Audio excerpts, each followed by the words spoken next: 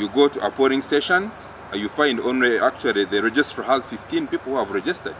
Yet on, on, on ground, we know that the, the area, the village has around 300 voters who subscribe to the NRM. So our concern is actually the process has been rushed and as a result, we have already seen the vote rigging. Because what is going to happen, someone has hidden the, the, the, uh, the registers, then eventually, uh, when, when the voting today comes, we are going to find many people have been knocked off. Isidore Tumusime, a former contestant from Buchimbiri County in Kisoro district, highlighted the lack of adequate sensitization on the exercise. He is concerned that many potential members might miss out on registration. We know the party put across me mechanisms for addressing voter education, but it was not sufficient.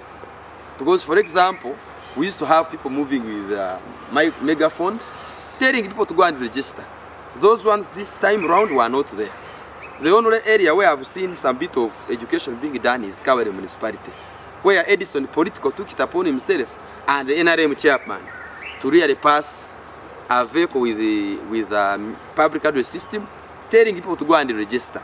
Some officials at NRM Secretariat misled or misguided our beloved President of Republic of Uganda, none other than General Yoweri Kaguta Museveni.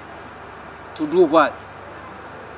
To invite him to come to the Secretariat of NRM Chadondo last month on 28th to launch NRM register. However, Henry Musasizi, the State Minister for Finance in charge of general duties and the NRM chairperson for Rubanda district, explained that some districts, including Rubanda, were forced to form new registers due to the Secretariat's failure to provide old registers for new districts. The majority of residents in this district are not listed in the register. When I inquired with the Secretary General, he explained that this issue arises because our district is relatively new and most of the registers they, they possess belong to older districts. We plan to convene village meetings to assess the situation and if deemed necessary, we will extend the registration period.